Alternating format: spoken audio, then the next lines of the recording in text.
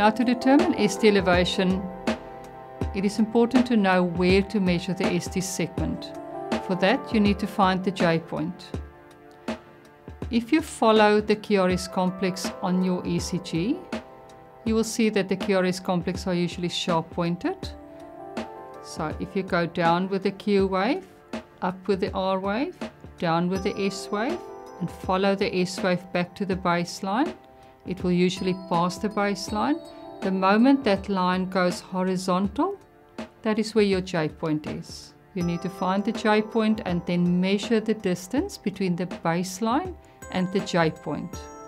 If that distance is more than two little blocks in the precordial leads, in other words 2 millimeters, or more than one little block in the limb leads, in other words 1 millimeter, then we say the ST segment is elevated.